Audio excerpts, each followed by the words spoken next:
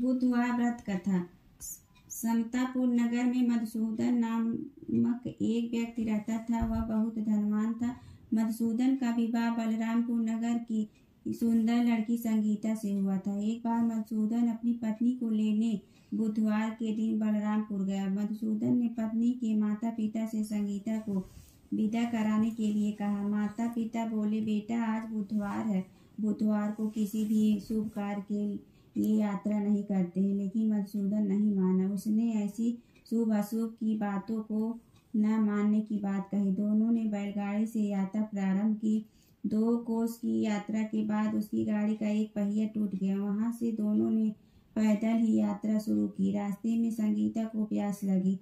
मधुसूदन एक पेड़ के नीचे बैठा कर जल लेने चला गया। थोड़ी देर बाद जब मधुसूदन कहीं से जल लेकर वापस आया तो वह बुरी तरह हैरान हो उठा, क्योंकि उसकी पत्नी के पास उसकी ही सकल सूरत का एक दूसरा व्यक्ति बैठा था। संगीता भी मधुसूदन को देखकर हैरान रह गई। वह दोनों में कोई अंतर नहीं कर पाए। मधुसूदन ने उस व्यक्ति से पूछा, तुम कौन हो और मेरी पत्नी के पास क्यों बैठे हो? मधुसूदन की बात सुनकर उस व्यक्ति ने कहा अरे भाई, यह मेरी पत्नी संगीता है। मैं अपनी पत्नी को ससुराल से विदा करा कर लाया हूँ, लेकिन तुम कौन हो जो मुझसे ऐसा प्रश्न कर रहे हो? मधुसूदन ने कहा, तुम ज़रूर कोई चोर या ठग। हो यह मेरी पत्नी संगीता है। मैं इसे पेड़ के नीचे बैठाकर जल लेने गया था। इस पर उस व्यक्ति ने कहा, अरे भाई, झूठ तो तुम बोल रहे हो। संगीता को प्यास लगने पर जल लेने तो मैं गया था। मैंने तो जल लाकर अपनी पत्नी को पिला भी दिया। अब तुम चुपचाप यहाँ से चलते बनो, नहीं तो किसी सिपाही को बुलाकर तुम्हें पकड़वा दूँगा। दोनों एक दूसरे से लड़ने लगे, उन्हें लड़ते देख बहुत से लोग वहाँ एकत्र हो गए। नगर के कुछ सिपाही भी वहाँ आ गए। सिपाही उन दोनों को पकड़कर राजा के पास ले गए। सारी कहानी सुनकर राजा भी कोई निर्णय नहीं कर पाया।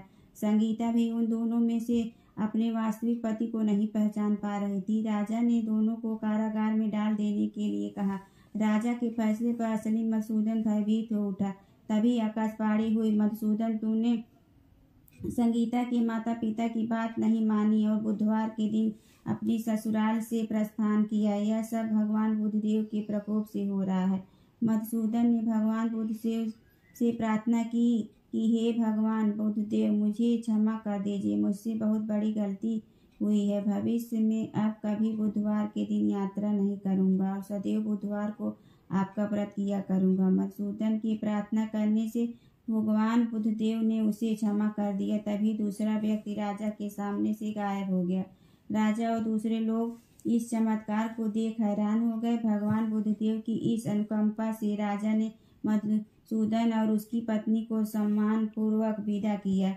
कुछ दूर चलने पर रास्ते में उन्हें बैलगाड़ी मिल गई।